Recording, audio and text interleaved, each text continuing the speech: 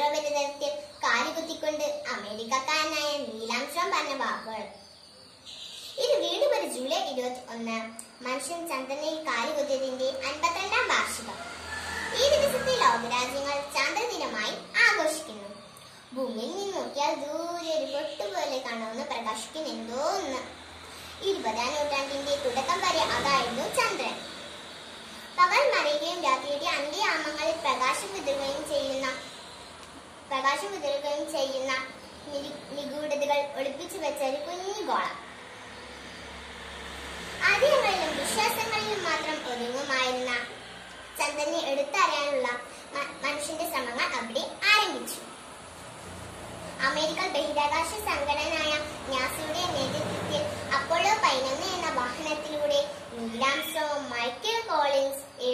Aldrin എന്നീ സഞ്ചാരികൾ ചന്ദ്രന്റെ ശാസ്ത്രീയ വശങ്ങൾ മനസ്സിലാക്കുവാനുള്ള യാത്ര പുറപ്പെട്ടു. ജൂലൈ ഇരുപത്തൊന്നിന് അവർ ചന്ദ്രനെ കാലുകുത്തി. അതിന്റെ ഓർമ്മ ദിവസമാണ് ഇന്ന്.